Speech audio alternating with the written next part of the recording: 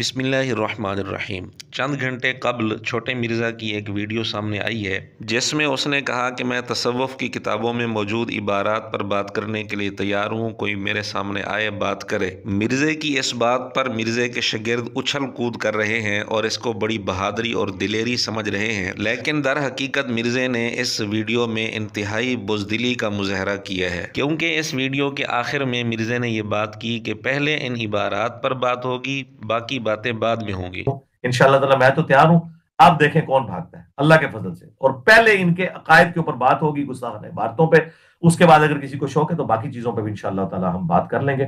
ये शर्त लगाकर मिर्ज़े ने बहुत बड़ी बुजदिली का मुजाहरा किया है और ये शर्त इसलिए लगाई है कि ख़ुद मिर्ज़े ने कुफरियात बकी हुई हैं, बकवासियात की हुई हैं, जिनका दिफा मिर्ज़ा नहीं कर सकता। मसलन अल्लाह ताला के लिए इसने टेंशन का लफ्ज़ इस्तेमाल किया, सोचने का लफ्ज़ इस्तेमाल किया, रिस्क का लफ्ज़ इस्तेमाल किया।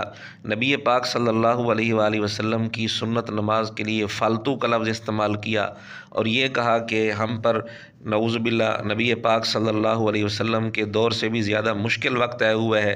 नवज़बिल्ला और ये कहा कि सुबहान अल्लाह आदद खल की वाली तस्बीह पढ़ने पर जो सवाब नबी पाक सल्लल्लाहु अलैहि वसल्लम को मिलता था, हमें बदरजा ऊला वो सवाब मिलेगा नौज़बिल्ला और ये भी इसने कहा कि अल्लाह का एहसान है कि उसने अम्बिया को भेजा।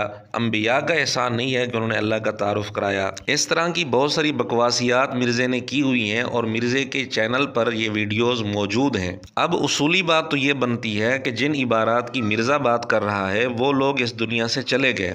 और मिर्ज़ा अभी ज़िंदा है, उसूली तौर पर पहले मिर्ज़े की इबारात पर बात होनी चाहिए। क्योंकि छोटा मिर्ज़ा अभी ज़िंदा है तो इसकी ज़िम्मेदारी है कि अपनी इन इबारात का दिफा करे। इसलिए उसूली तौर पर तरीका ये बनता है कि छोटे मिर्ज़े के साथ पहले ख़ुद इसी की इबारात पर बात होनी चाहिए, फिर उसके बाद जिन इबारात की मिर्ज़ा बात कर रहा है, उन पर भी बात होनी चाहिए। और मिर्ज़े ने इस वीडियो में अपने मुखालफी के बारे में कहा, पहले भी कई दफ़ा कह चुका है कि ये एंटी कादियानियत तहरीक चला रहे हैं ख़त्म नबूत का काम नहीं कर रहे।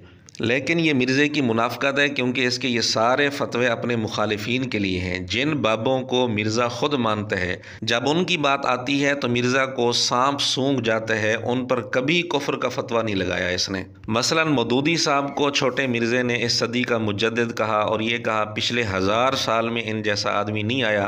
और छोटे मिर्ज़े ने यह भी कहा कि ख़त्म नबूत पर इल्मी हवाले से सबसे बेहतरीन काम मदूदी साहब ने किया है। लेकिन वही मदूदी साहब इल्हाम के कायल हैं और मिर्ज़ा कहते हैं, जो इल्हाम का कायल हो, वो ख़त्म नबूत का डाकू है और दैर इस्लाम से खारिज है, वो एंटी कादियानी हो सकता है, ख़त्म नबूत का काम नहीं कर सकता।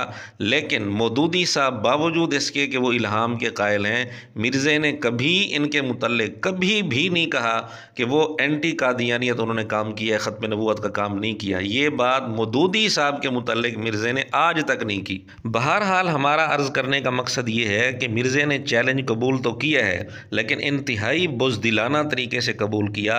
मिर्ज़े को चाहिए था पहले अपने आप को पेश करता कि पहले मेरी इबारतों पर बात होगी क्योंकि मैं ज़िंदा हूँ और मेरा फ़र्ज़ बनता है अपनी इबारतों का दिफा करूँ।